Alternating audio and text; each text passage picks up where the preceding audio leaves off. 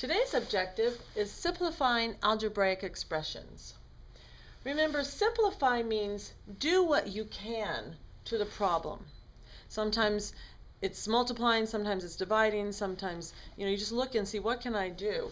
And one thing you can do is combine like terms, and that's what we're going to talk about today.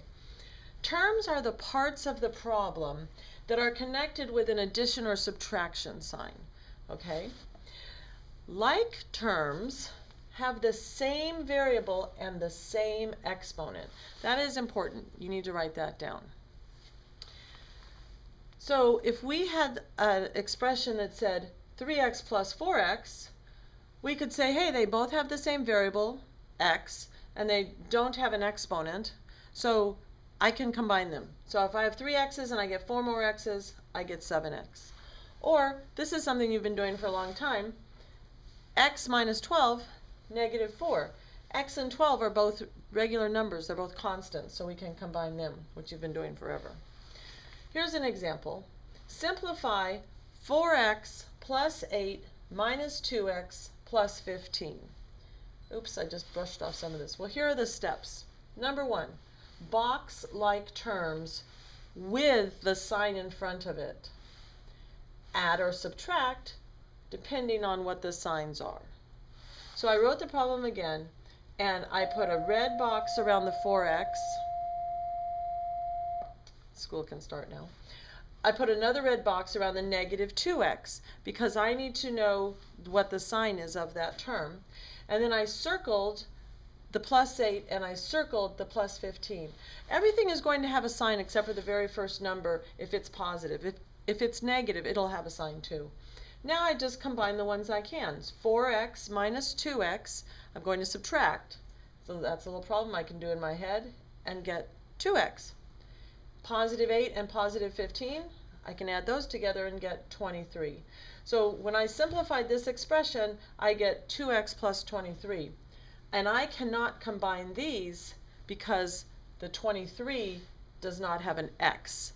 So 2x and 23 are not like terms because one has an x and one doesn't.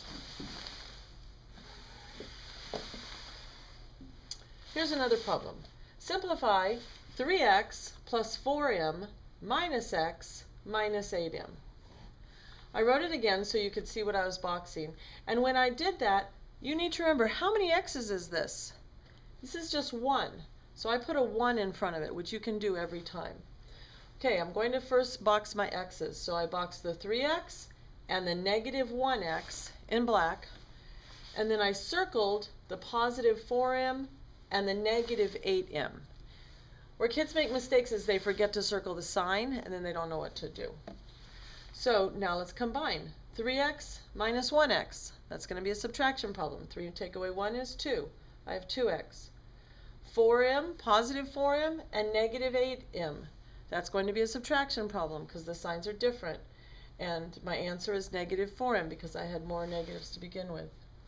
And I cannot combine these because the variables are different. So I can't combine my, I can't do anything else because the x and the m are different. So they're not like terms. What if I have 2x squared plus 13x plus 8x squared plus 7x minus 22?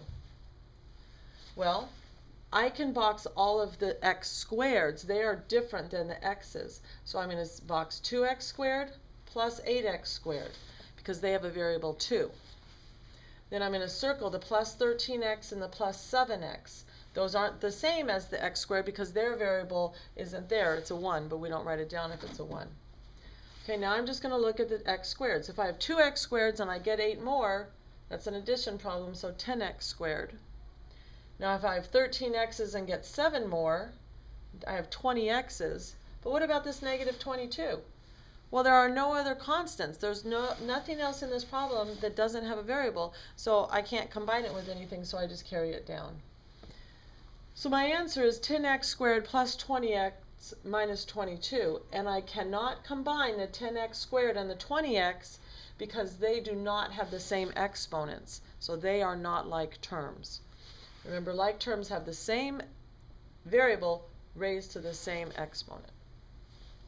Here's one more problem. simplify 4 times the quantity, 2x minus 3 plus 7x minus 18. So first I need to use the distributive property to clear out the parentheses. So I'm going to say 4 times 2x is 8x, 4 times negative 3 is negative 12, and then carry down the plus 7x and the minus 18. I cannot combine like terms until I've gotten rid of all the parentheses. So now I look and I see I have an 8x and a positive 7x, so I'm going to box them, and a negative 12 and a negative 18. Now you don't need to use different colors. I'm doing that so you can see it better, but I sometimes use circles and squares, and sometimes if I have more I use triangles, just so they'll stand out to me. So 8x plus 7x is 15x. Negative 12 and negative 18, they're both negatives, or if we think about it, they're both bad guys, so we have a lot of bad guys, negative 30. And that's it. I did the distributive property, I boxed my like terms, and I combined. And these cannot be combined because 30 does not have an x. That's it.